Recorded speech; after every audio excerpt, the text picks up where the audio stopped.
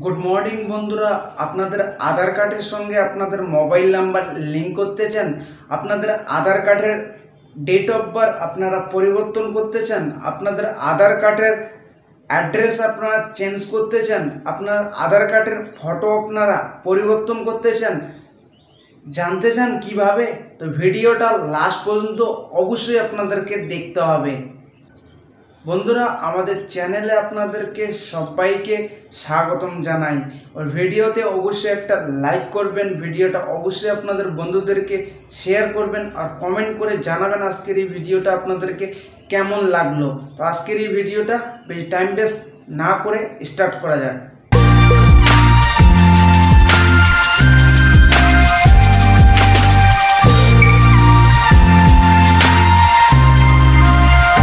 আধার কার্ডের সঙ্গে mobile number link করার জন্য গুগলে চলে আসবেন। গুগলে আসার পর টাইপ করবেন U I D A I type করার পর সার্চ অপশানটাতে একবার ক্লিক করে দিবেন।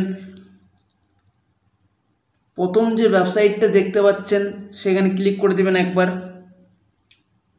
ক্লিক করার পর নিচে চলে আসবেন। আসার পর দেখতে পাচ্ছেন বুক অ্যাপয়েন্টমেন্ট, সেই অপশানটাতে একবার ক্লিক করে দিবেন। ক্লিক করার পর স্কেল ডাউন করে নিচে চলে আসবেন।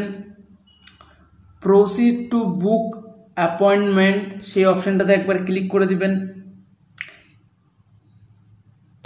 ক্লিক করার পর এখানে আপনাদের মোবাইল নাম্বার টাইপ করবেন, নিচে আপনারা ক্যাপসা টাইপ করবেন। ক্যাপসা টাইপ করার পর সেন্ট ওটিপি সেই অপশানটাতে একবার ক্লিক করে দিবেন। এখানে এন্টার ওটিপি এন্টার ওটিপি করার পর সাবমিট ওটিপি প্রসিড সেই অপশানটাতে একবার ক্লিক করে দিবেন। আমি পরবর্তী প্রসেসটা দেখাচ্ছি। এভাবে একটা নিউ ইন্টারফেস খুলে চলে আসবে।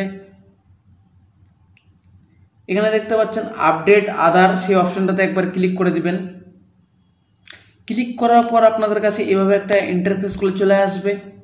প্রথমে আপনাদের নাম টাইপ করবেন, নিচে আপনাদের আধার কার্ড নাম্বার টাইপ করবেন টাইপ করার পর নিচে চলে আসবেন।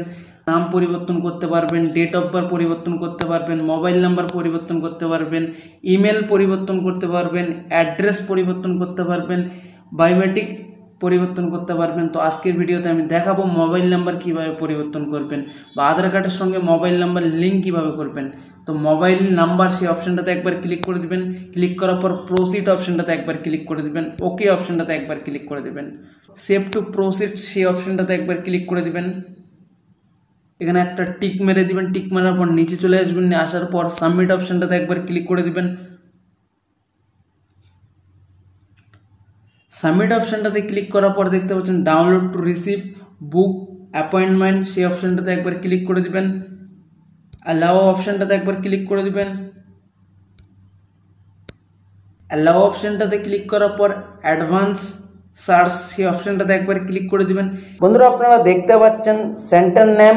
আপনাদেরকে এখানে টাইপ করতে হবে, না হলে পিনকোড টাইপ করতে হবে। টাইপ করার পর নিচে চলে আসবেন।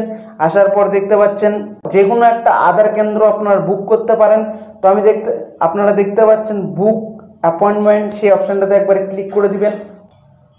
তিরিশ তারিখে আপনারা এখান থেকে দশটা সিলেক্ট করবেন সিলেক্ট করার পর সাবমিট অপশানটাতে একবার ক্লিক করে দিবেন। ক্লিক করার পর কনফার্ম অপশানটাতে একবার ক্লিক করে দিবেন। ক্লিক করার পর আপনাদের কাছে এভাবে একটা ইন্টারফেস খুলে চলে আসবে। তো ক্লিক করার পর ওপেন অপশানটাতে একবার ক্লিক করে দিবেন। ক্লিক করার পর ডাউনলোড অপশানটাতে একবার ক্লিক করে দিবেন।